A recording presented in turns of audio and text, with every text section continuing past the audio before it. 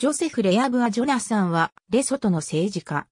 英領バストランド時代より通算で数えて、第二代目の同国首相であり、初代首相、セクホンヤナ・ネヘミヤ・マセリバネの後に選ばれて1965年から1986年まで首相を務めた。ジョナサンはレリベで地方首長の子として生まれた。彼は一夫多妻だったレソト初代国王ムショエシュエ一世のひ孫の一人だった。ジョナサンはブラックパンの鉱山で監督官として働いていたが、彼は首長の一人だったので、やがて1937年に英国保護領バソトランドに戻って、ラコロの地方政府に参加し、バソトランドからロンドンへと送られた自治政府代表団の一人にも選ばれた。ジョナサンはカトリックへと改宗し、1957年にバソトランド国民党を設立した。ジョナサンは1960年の選挙では4位で当選したものの、1965年4月の選挙では国民党は失速し、ジョナサンも落選したため、首相の座は同党のセクホンヤナネヘミヤ・マセリバネのものとなった。ジョナサンは後に立候補して当選し、1965年7月7日に首相に就任した。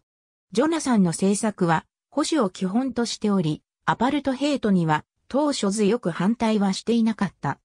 このため、周囲を取り囲む強大な隣国である南アフリカ共和国の首相、ヘンドリック・フルールトとバルタザール・フォルスターから、ジョナサンは支援を受けることができた。ジョナサンは南アフリカの黒人解放組織であるパンアフリカニスト会議とアフリカ民族会議に共に敵対的であり、これらの党の支援を受けている国内野党のバソトランド会議党とマレマトロー、自由党にも敵対的だった。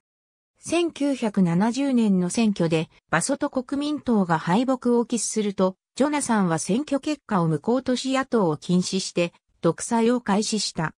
バソトランド会議党の党首ヌツモヘレをはじめとする野党首脳は亡命を余儀なくされ、国王もショエショエ2世も1967年1月以降、自宅軟禁下に置かれ、ついでオランダに、さらにイギリスへと追放された。これらの政策のため国内が不安定になると、ジョナサンは国民感情に従って南アフリカのアパルトヘイトに反対を唱え始め、アフリカ民族会議と友好関係を結ぶようになった。これに対し、南アフリカ政府はレソト解放軍という反政府組織を結成させ、レソトに攻撃を加えた。また経済制裁やアフリカ民族会議の拠点の越境攻撃などでレソトに圧力をかけ続けた。1986年1月20日、ジャスティン・レファンヤのクーデターによってジョナサンは失脚し、8月には自宅軟禁下に置かれ、1987年4月5日に心臓発作で死亡した。片山正人、現代アフリカクーデター全史総文社2005年、ISBN4 から794705239380ページ。ありがとうございます。